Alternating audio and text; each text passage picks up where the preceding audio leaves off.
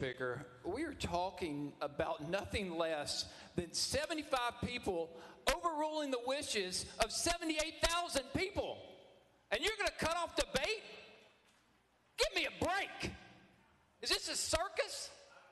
You are talking about kicking somebody out of this body. Grow up. If you can't sit through a conversation or a debate on something no less than expelling a colleague, grow up. Get out of here. You don't here. You want to call the question? I am humiliated. I'm embarrassed. Look at the rules of procedure, the ethic rules. It, the purpose of this is to hold the respect and confidence of the people. Representatives should avoid conduct that even appears to violate the trust the people have placed in them. What are we doing? Call the question.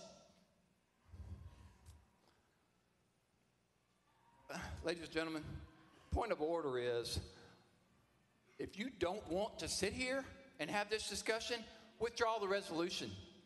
Let's move on to the people's business and actually address the issue that created what made you uncomfortable the loss of life, not just those six losses of lives.